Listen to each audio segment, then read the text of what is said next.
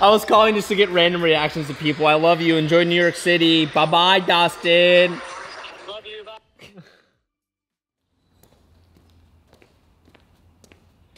I think it's finally time that we reveal the mystery car. But before we reveal it, two years ago when I was in Japan, I filmed a clip where I showed a bunch of cars and I told you guys that one car among the sea of all the vehicles was this car. And I finally decided it is now the time to show you guys what this car is. So without further ado, here's the mystery car. This is my 1998 Evo 5 in Dandelion Yellow. Evo 5 was produced from 1998 to 1999 and is celebrated for its performance and rally success. This car was driven by legends like Tommy Mäkinen, who won his fourth consecutive WRC title in 1998. It came with a turbocharged 2-liter engine, all-wheel drive, improved suspension, and aerodynamic enhancements like a larger wing and wider fenders that contributed to its competitive edge. The Evo 5's achievements in the WRC solidified its reputation as a formidable rally car with exceptional power and handling, but meant for the street.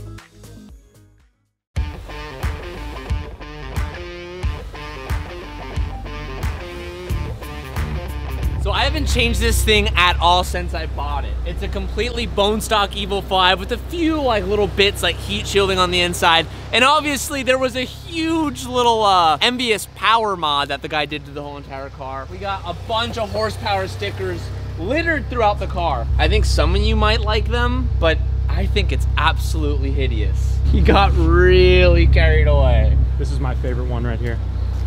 That's that's my favorite.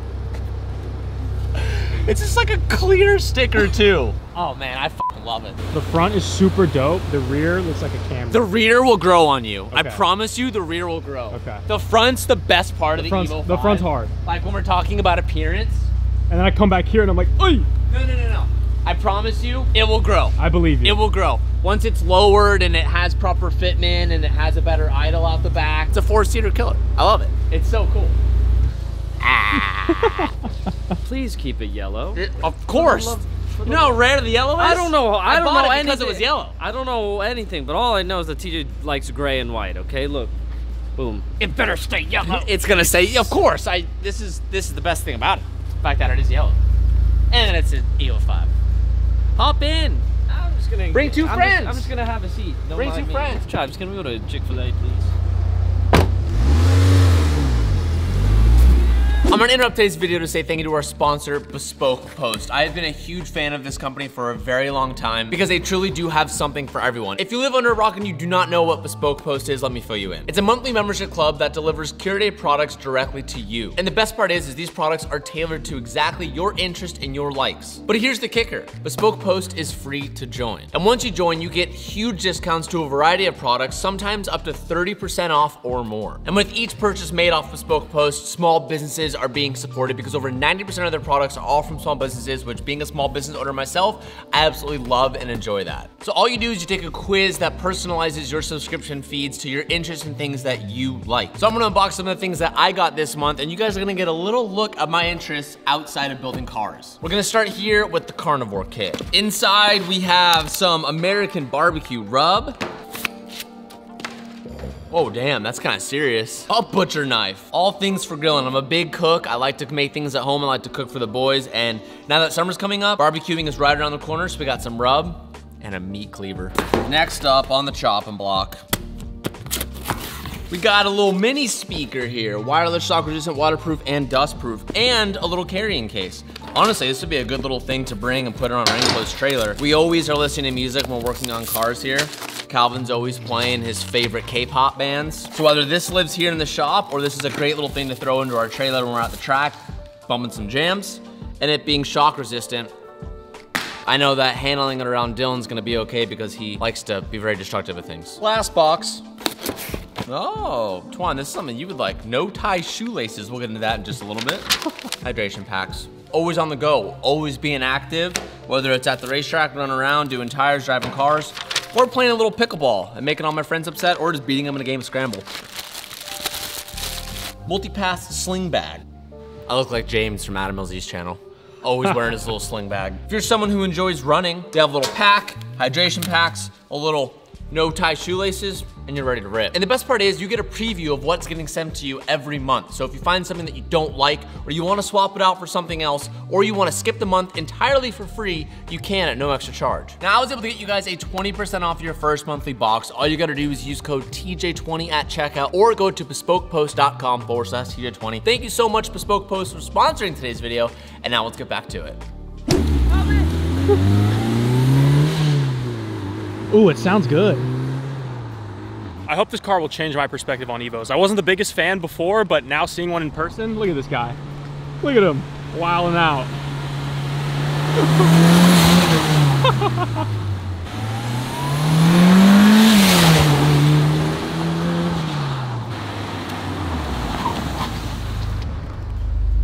You didn't take me to Chick-fil-A.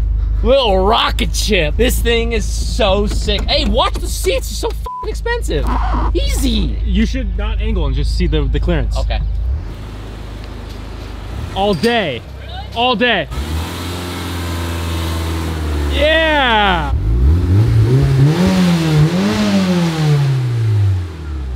Eighty thousand kilometers. It's like fifty thousand U.S. miles. That's pretty good. This thing's in really good condition for an Evo 5 too. Yeah. The, Normally, the first thing to go is are these little th- these like side pockets get a little saggy. The rear's a little saggy. Reminds me of your mom a little bit, but other than that, it's pretty good. That's what I'm you, calling none. That's what you get. That's I'm what you, calling none. that's what you get for hanging on my seat. I don't need this abuse. Uh, you better get back in the car right now before I tell your mother. Don't you ever slam my door. Ever. The headliner is in good condition. Yeah, man. AC go it's cold, it's icy. This thing is really cool. This thing is super sick. This wheel right here, it's a four thousand dollar wheel if you go and you buy it used Wow. in good condition. Ours is a little bit hammered. We're gonna have to fix that. But this is the World Rally Champion for 1996, 1997, 1998. This car, this chassis. Looks like a piece, bud. Respect your elders, boy, or I'm gonna call your mother. She's on speed dial. Back to the turbo timer days. Car's off, keys out. Look at that. Classic, baby. She's a classic. Learn to respect your elders. Don't respect me. Respect, respect the old cars. This invented it. So we had the guys from Meguiar's come down to do a full paint correction on the car and it came out great. If you really look at it in this light, the paint for being 25 plus years old is amazing, but unfortunately there were some drawbacks. The stickers did leave a little bit of a ghost fade throughout the whole entire car. When we pulled some of the stickers up, they were just so old and tacky that it did pull some of the paint. So ultimately we're gonna have to do a respray on this whole entire car, which definitely isn't ideal, but it being dandelion yellow, I want it to be absolutely superb. But that's the risk you take with buying old cars. Some of the plastics and metal faded differently. There's even some areas where we noticed that we were burning through it too quickly, so it didn't leave us a lot of room to save the paint and remove clear to get it all back to the same color. A respray will be coming soon. Ah, he finally brought it home, huh? What do you think? Dude, that yellow is absolutely sick. Let me get it. Let me get it back to you. I can't. We're in That the. oh!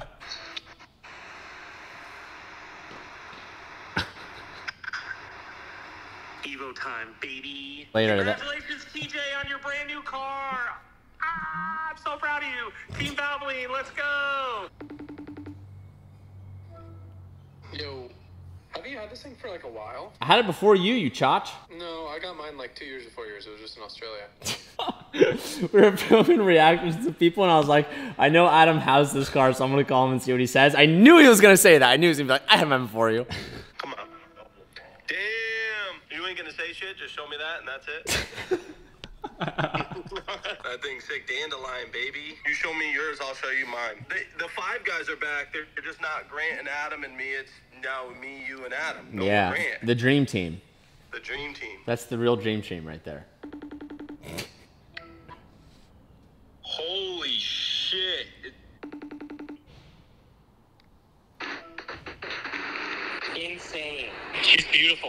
I was calling just to get random reactions to people. I love you. Enjoy New York City. Bye bye, Dustin. Oh yeah, I forgot. This car is a rally car.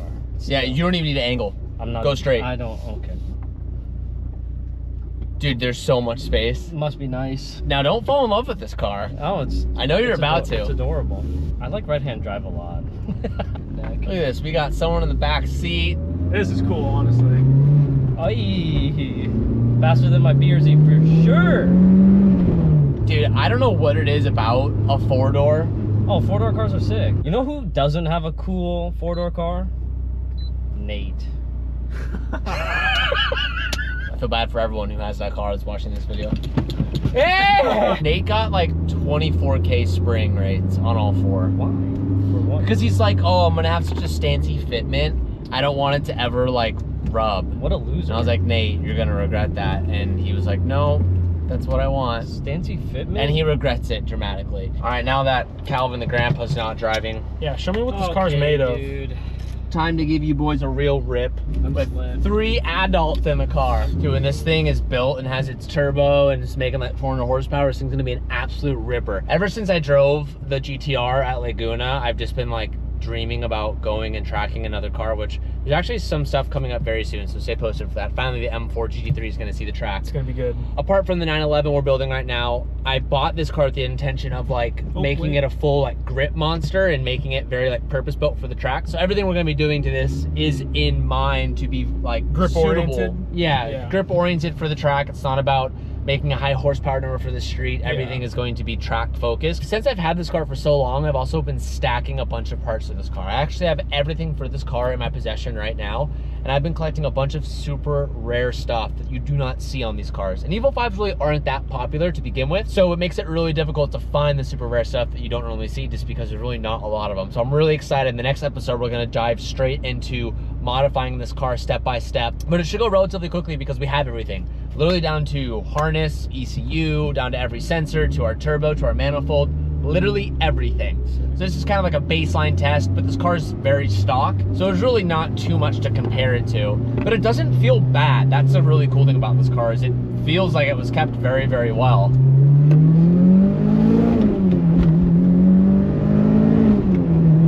Okay. That was floored one to three. That's not Calvin- terrible. Calvin's asleep in the bag. asleep. Oh my god. But I mean, like, it's oh, it's pretty tight. tight. It's tight. It just feels pretty gutless. Like, I'm floored.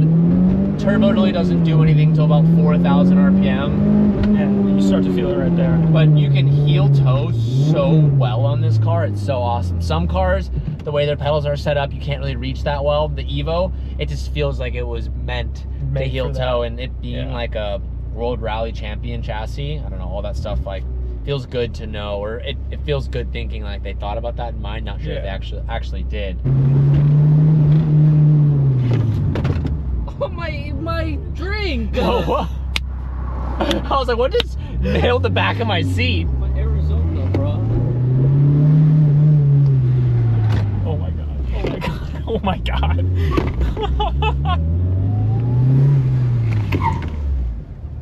yeah, she stops.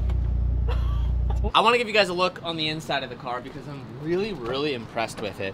A lot of the cars that are just this old or that we import normally have interiors that are pretty hammered, but this one's actually really good. The, the real problem cause with these interiors is on the doors. These door cards, as you can kind of see, like start to sag a little bit and the adhesive starts to fall off. This type of material, like this like pattern, is on all four doors. Ours are a little bit loose, but they're not that bad. I would say this is like a six out of 10, when I feel like most of them are like three or four out of 10. So that's an easy fix. But other than that, the interior, the plastics, perfect. We're not missing anything. The AC blows cold. There's an aftermarket head unit here that doesn't have Bluetooth, but it even has these Ralliart gauges, which are super sick. Has a turbo timer, which is pretty cool. I've never had a car with a turbo timer. And, and the best part of the interior is it came with this world champion OMP wheel. This is a pretty pricey wheel. If you try to buy it online, it's like four grand in like perfect condition. Ours is pretty beat up, but we can fix that. We can make this thing look brand new again. Very cool to have this wheel. The seats are in pretty fair condition as well. There's a little bit of wearing down by like the bolstering, but Apart from that, one of the nicer interiors I've gotten from a car that I've imported that is this old. So after driving this thing a little bit around the street, my main takeaways are this reminds me a lot of my GTR before we built it. In the sense that it's slow on the street. It doesn't have much excitement, but when I drive it, I can feel that it has good bones in it. I can feel that when this thing has an extra 150 horsepower, when it has better suspension, when it has better brakes, when it has better tires, how fun this car can really be. And with the original goal of this thing being a more time attack build, a more grip car build, I'm really excited for this to be that car and kind of fill that role because I had a blast just driving around the street just ripping through like first and fourth gear. I can only imagine it with a better turbo setup, a better manifold, and just a better tune. It's gonna absolutely rip, and it gets me excited because there's not a lot of cars that I get excited about in stock form, and I could feel the potential out of this car, and I almost calling it now, this might rival my GTR in the sense that out of all my JDM cars, nothing beats the R34 GTR. That is the best driving experience, meaning like the platform itself of the R34 is so great in so many ways. And then with all the performance mods you can do, that car is just perfect. It is the definition of perfect when it comes to JDM. I think that this car will give that car a run for its money. I know it's not as fast. I know it's not gonna be a multi-hundred thousand dollar car, but I believe that this will be an absolute joy to drive every day if you wanted to do it. And I'm excited to finally be an Evo owner.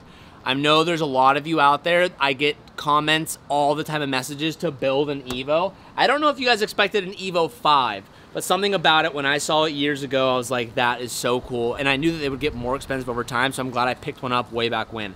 I think I picked this car up for low 20s. So they're like 35 and up now. So, so far a pretty good investment. All the Evo owners out there, leave some comments down below of some things that I should do. Now, granted, I have the whole entire build for this already that we're gonna start jumping into. And on the next episode, we're gonna dive into suspension, we're gonna dive into exhaust, I'm gonna reveal all of these rare pieces that I got from this car that I know a lot of you guys who really care about these cars are absolutely gonna love. But leave some feedback. Are there some do's and don'ts? Is there something that I absolutely need to do with the 4G63 that some people skip out on? I'm gonna be leaning on you guys for that information. But I hope you enjoyed the mystery car reveal. I've had this up on the lip for so long. I've been teasing you guys so long with this car, and I'm glad I finally got to share it with you. Thank you guys so much for watching. I'll see you in the next episode where we start building this thing. And we're going to do a lot in the next episode. So we're, we're going to do a lot in the next episode. So stay tuned for that. And I'll see you boys next time. Peace out and keep moving forward.